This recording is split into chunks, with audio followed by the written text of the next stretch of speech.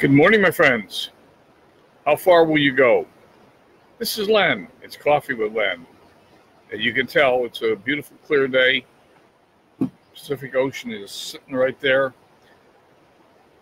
You know, Thomas Edison once made the observation that many of life's failures were people who didn't realize how close they were to success when they quit.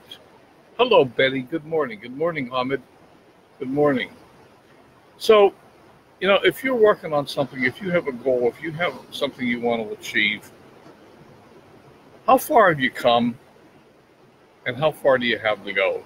And of course, we never really know for sure how far we have to go, but the reality is that the vast majority of people quit. It, there are many different ways that this is said. It's said uh, uh, we, uh, we quit before the magic happens. We're three feet from gold but one of the things about the story Three Feet from Gold is to realize that while the miner was three feet from gold, he was three feet digging in the wrong direction. So he needed some guidance. The the people that bought the mine from him and found the gold vein did it by hiring an assessor or hiring a, an engineer to evaluate what they were doing. So that says that maybe in order to go the final mile, the, the uh, last little bit of distance to your goal, you need a coach, a mentor, somebody to show the way, somebody who's done it before. That could be that could be the secret. But whatever the secret is, it's often said that you know you got to go the extra mile, and that extra mile is rarely crowded because the people who weren't successful have all quit.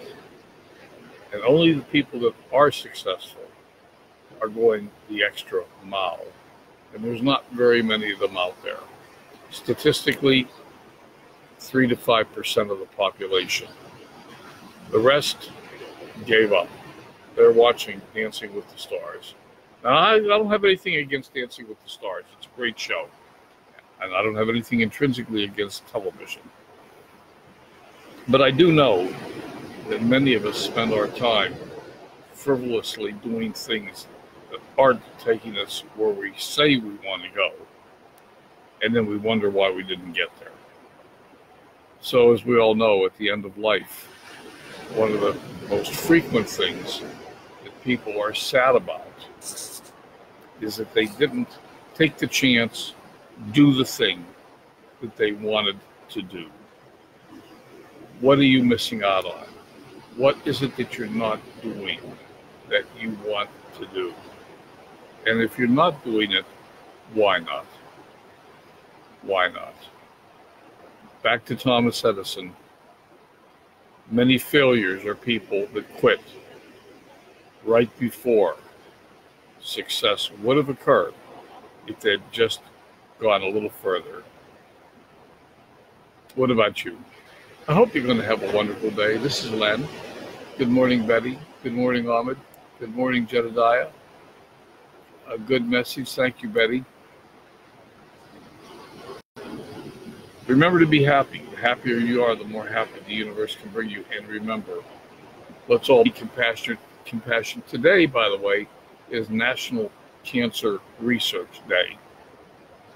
One of the things that we know about cancer these days is that much of cancer comes from environmental exposure to things that your body doesn't know how to handle toxins. Now, there's a really good series of videos, uh, documentary called The Truth About Cancer, a Worldwide Quest. You can find it on YouTube. Worth watching. Cancer does not have to be a death sentence. I know I've changed the subject, but cancer does not have to be a death sentence and can be in many cases. It appears that it can be avoided.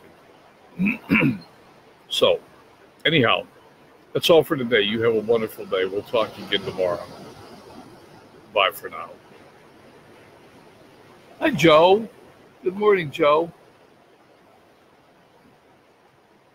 I was just about to wind it up, Joe. Maybe you could watch the replay. Bye for now.